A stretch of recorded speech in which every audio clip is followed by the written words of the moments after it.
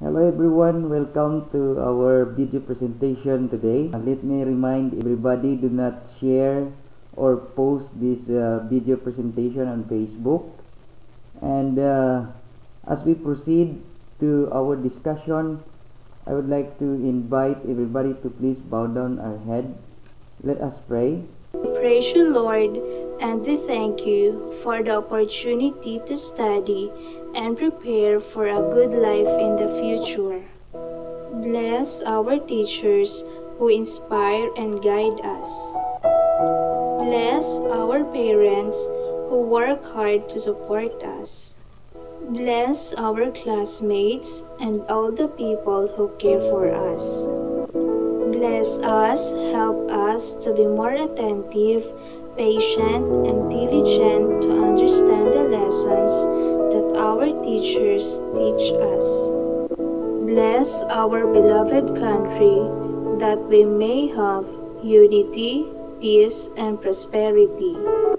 This we pray in the name of Jesus Christ, our Lord. Amen. Okay, so let's proceed to our discussion of this topic, estuary. And our target goal is to explain the type and cite the importance of estuary. Eh, What are the estuary? Estuary is a partially enclosed body of water along the coast where fresh water from rivers and streams meet and mix with salt water from the ocean. If you try to look at the picture, in this side is the river and uh, in this side is the ocean and at the center is the place of estuary. Estuaries are divided into four types depending on how they are formed. The first type is coastal plain estuary. Na form ini sa class, it is created or formed when sea level rises and falls. So na form ini siya sa pag uh, saka kag pagpanaog no sang uh, tubig. So makita natin dyan sa may picture, this is the river and this is the delta and here is the estuary. And the second one is tectonic estuary. What is the tectonic estuary? Are caused by the folding of faulting of land surface. These estuary are found along major fault lines like the San Francisco Bay area in California.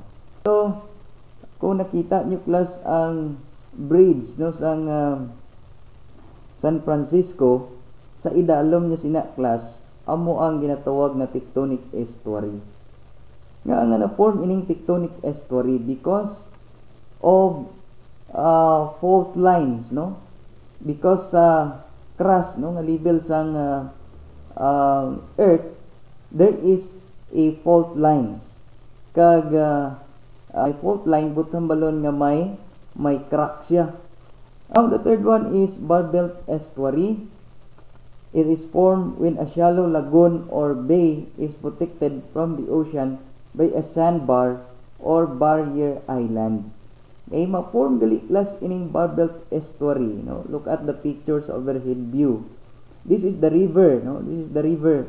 Then, have you noticed nga there is sand split here? No? May sand split here. Ini class, halin ini, no? Uh, maybe uh, soil ini or sand nga halin diri nga nag-erode kag nagbalabag diri sa class then ini siya na form ini siya nga lagoon kag this is the estuary alright na form diri ang uh, bar belt estuary nga gitawag siya nga bar because there is sandbar nga nagbalabag diri class alright so next the last uh, type of estuary the fjords estuary or the U-shaped valley formed by glacial action. Fjords are found in areas with long history of glacier activity, like in northern uh, Europe, Alaska, and Canada. So class ini nga area sa may northern northern Europe diri makita class no ang fjord estuary nga makita mo ini siya diri sa may picture natin. Nga no, makita natin nga nagapayo ang ana nga, nga shape. Nga nga na form ining uh, ining uh, fjords estuary because of the glacier glacier activity or um, because nga ining uh, glacial action nga ginatawag. Ano ni glacial action? Ini sa class uh, something like uh, erosion of of uh, snow or ice. Okay? So let's proceed to the biological importance of estuary. According here thousands of species of birds mammal fish and other wildlife depend on estuary habitat as place to live.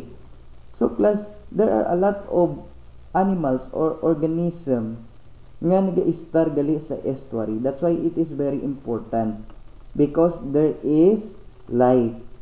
So now, uh, why nga diri naga diri naga-star or diri naga-live ang uh, different kinds of organism because this area can support life because a lot of food here no nga makita sa sining area.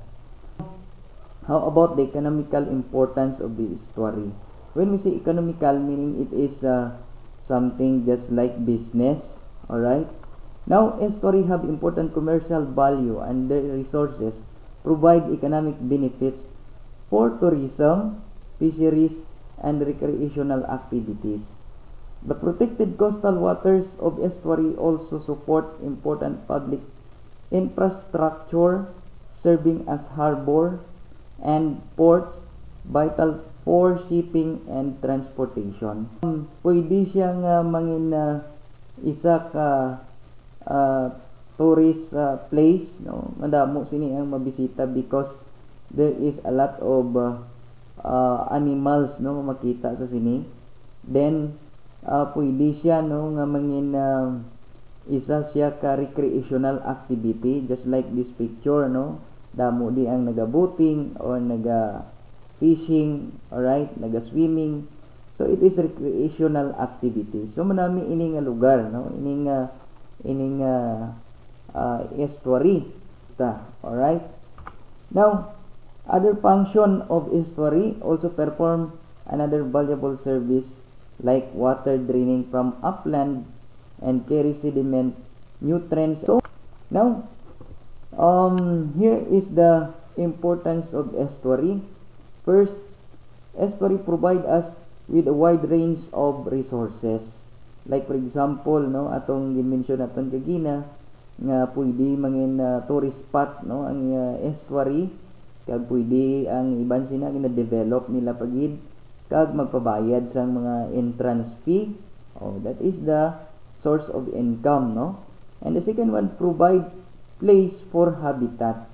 Of course the estuary is a place of different animals or organism. All right so then recreational activities no? Amo ni ang isa ka nahiligan sa uh, human no? Ang mag uh, recreational. Then scientific study.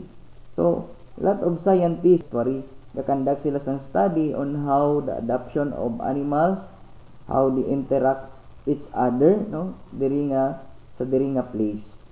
Then according here nurseries of the sea. So ang uh, estuary class kaangay sa sang uh, nursery of the seas. Why? Because uh, diri nagahatch ang uh, uh, all uh, um, animals and organism.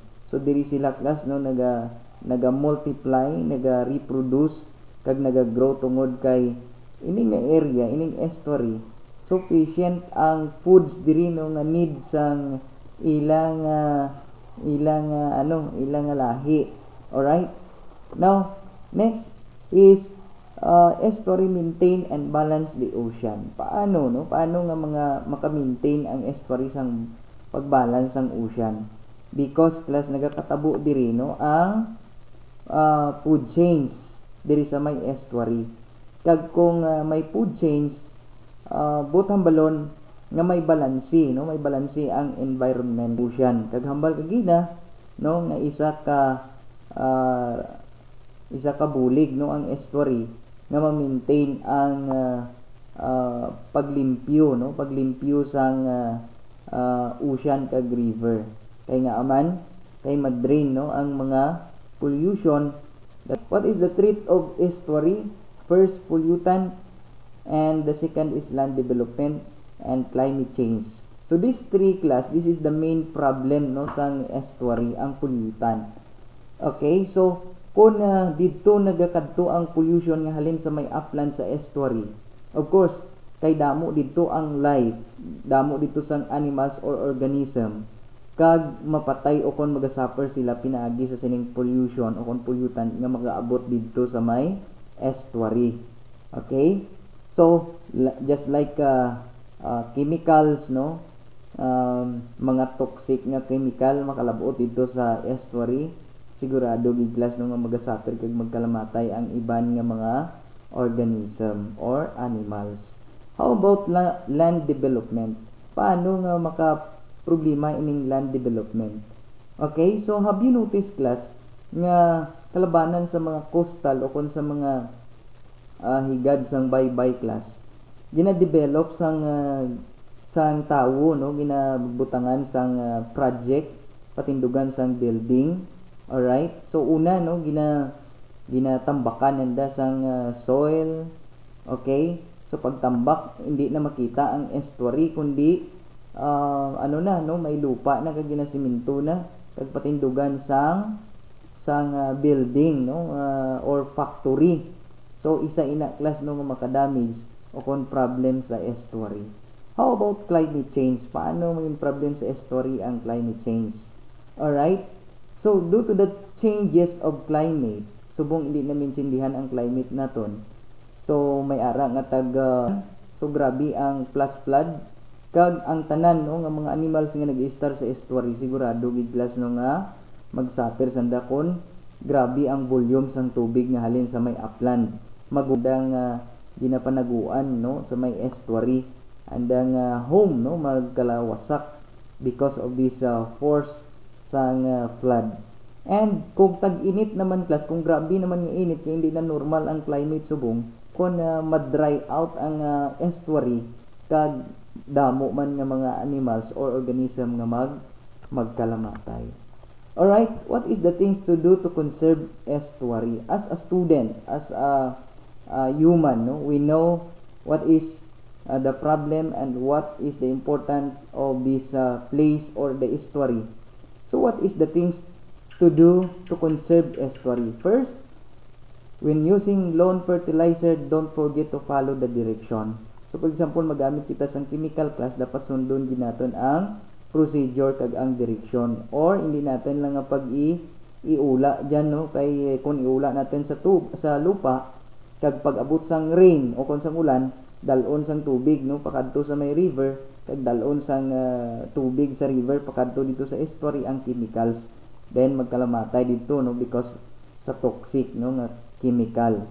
Then the second one do not burn grass clipping. So I mean mga grass or plastic ini dapat nga pang tutdan no? Kay isa ini nga uh, pollution no? Sa sa tubig no? Kung uh, makalabot ini class ining uh, uh, pagpanutod natin sini nga mga bagay. Kag hindi ini no? Isa ini ka toxic sa mga animals then if possible create non toxic product. Kung posible hindi kita magamit sa mga toxic product. Then last as third to the last dispose of household and yard chemical properly. Follow the disposal direction on their label dapat may ara kita sa class no nga ginasunod nga proper disposal of our garbage. Agod nga hindi ini makalabot dito sa may estuary. Alright, ning mga plastic las, damo-damo sini nga mga animals ang magsuffer kag magkalamatay kung dito na sila magtambak sa may estuary. Then, don't be wasteful, reduce and reuse and recycle every day. Dapat ang mga gamit ni class um, aton ini sila nga i-reuse kag i-recycle especially ining plastic ining hindi madunot no nga mga mga bagay alright the last one is pick up trash participate in trash clean up day so kung may mga may mga activity class nga about clean up no uh, we need to participate and uh, join no sa pag uh, uh, pangmulot no sa mga plastic o sa mga basura alright so that is uh, things to do to conserve estuary. Now, how about in the water, no? Do not dump dump your trash overboard o may mga may mga marine sanitation gid. Alright?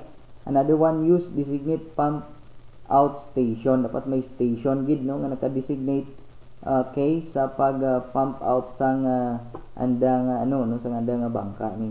When visiting coral reefs, do not touch live or living corals no hindi natin yung pagtandugan sanda kay naga kapatay sa sanda class let us remember God is the creator and right according to Job 12 7 to 10 but ask the animals and they will teach you or the birds in the sky and they will tell you or speak to the earth and it will teach you or let the fish in the sea inform you which of all this does not know the hand of the Lord has done this. In his hand is the life of every creature and the breath of all mankind. This text no remind us about the importance of life